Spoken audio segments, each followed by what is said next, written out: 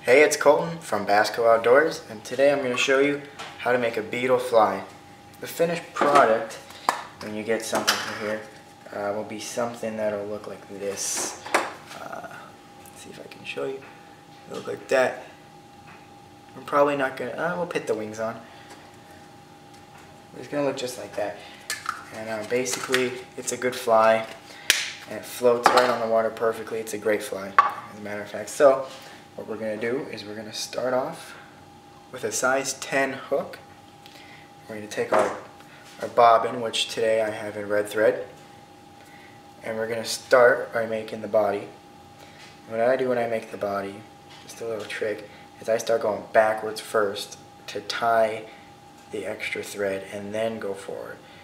And that usually just keeps it nice and has a lot of tension on it when you're when you're threading it up and it helps. Um, just keep going nice, nice and back. And you can pull that up.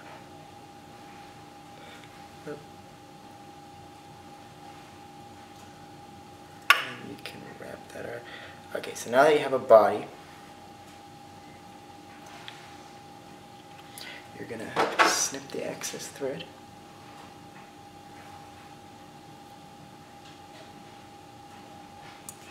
Okay, and I just go over just a couple more times. Just like that.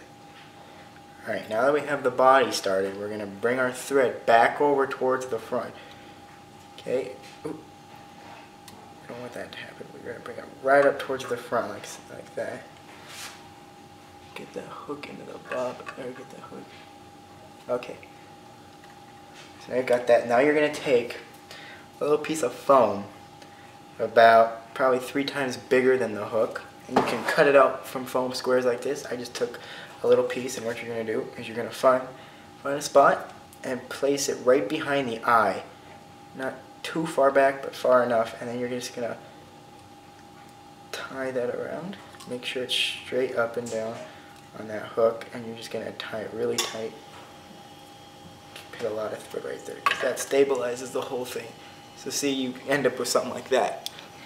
And then you're just gonna easily tie yourself back.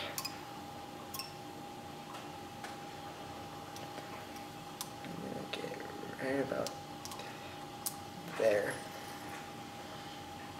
Now what we're gonna do is now that we have that, we could probably go back a little more. Okay, that should be okay. Now what we're gonna do is we're gonna take a little bit of yarn or chenille, whatever you want to call it, and just a little bit, just there.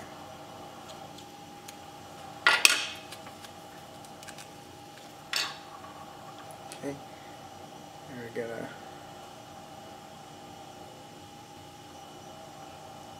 gonna come back up and wrap that around the original part where we just wrapped the foam. Now, we're going to take our hackle pliers and grab the yarn and just twist it over. And this is making a fuller body, kind of more, adding more color to it so the fish, it'll pop out to them. And you can overlap, just gives it a bigger body. Okay, now that we did that, wrap it as usual like you would with any other thing.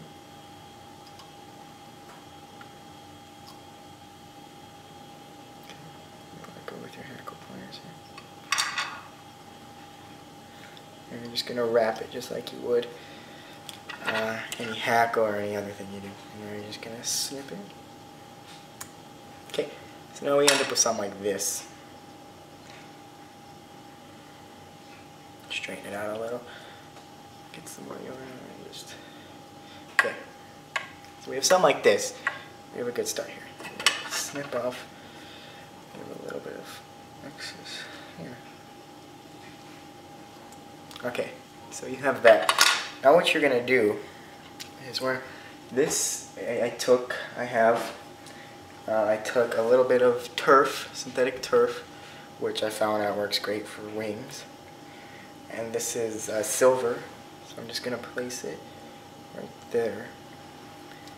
I'm just going to do a pretty much almost a figure eight with it. What I do is, uh, or an X, an X tie, if that's what you like better.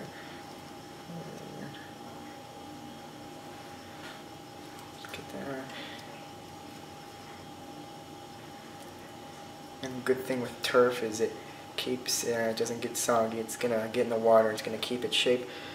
Okay, now you're just gonna keep tying it around. And it's starting to look good there. Okay, and what you're gonna end up with is you're gonna end up with something that looks sort of like an X across the top. That's what you want. So now we have that. You're gonna take your other uh, the foam from the back and fold it up like that. And then you're gonna go right behind the eye, just a little bit back, and just tie around right there. We're gonna put a lot on there. Okay. Now you're gonna end up with something that looks like that. That's what we want right there. Okay. Now what you're gonna do is you're just gonna finish up your fly like you would any other fly. Doing your wraps and loop finish. And with the beetles, it's a little harder to loop it around, but you get the hang of it after you make a couple. And sometimes, I mean, you're going to want to pull that foam back so you can get under. And it is not working for me at all.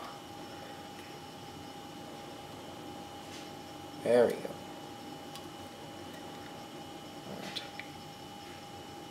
Okay.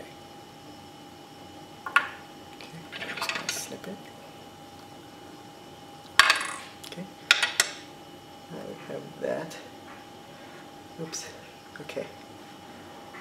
Okay, now you have this. What you're going to do is you're going to cut the foam short. So now you end up with something like that. And then I like to just cut a little shape, a little, looks like a head kind of shape into my beetles. You end up with something like that. And then we're going to add just a little bit of head cement on there. Just, a little bit. Just to make sure it stays on. And these beetles, like I said, are great flies to use. Great flies. Okay. Gotta blow on it. Okay. And there's your fly. There's our fly. Turned out pretty good. Thanks for watching, and we'll catch you next time.